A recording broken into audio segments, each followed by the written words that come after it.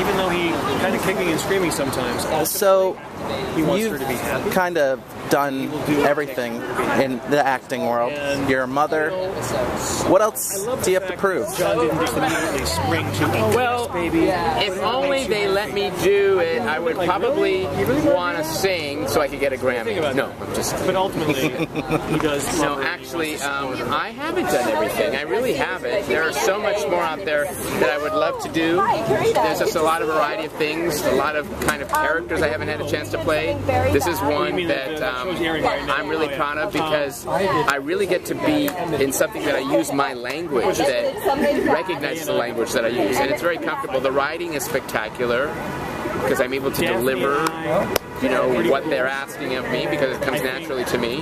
Because Daphne's kind of. It's almost a little too easy, you know, Oh, hey. because I don't have to speak on the show. airing So, right now. That's definitely a good thing. My daughter's Using broad deep. strokes. Now, uh, obviously, Dancing with the Stars, um, a, a co-star of yours is uh, on this season. Um, What is the highlight? is he your front runner to win, or because you have a couple friends on the show? So, I have Drew Lachey who's on the show. He asked me first to be on Team Lachey. okay, So I'm rooting for him first, but naturally, of course, I'll root for Gilles uh, behind Drew's back, and then vice versa. It would be about. That's for the public to know, but not for those two guys to know.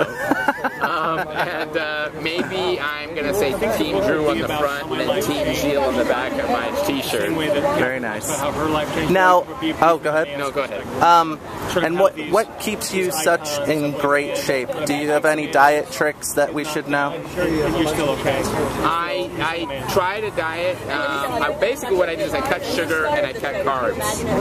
And I'm running. Um, and I do a lot of fast walking, about four to six miles a day. I knew we had a good cast. And I run after my kids, which is enough in itself. Could handle the sign language. And with the summer that we just had, Historically, I mean, you want to look good. Really don't like. So I do all the things that you have to do. You know, you get we took a little bit of sun. we did all these Uh, actually, though, I'm looking forward to winter because I want to get some cookies and get back a little some heartburning there. You know.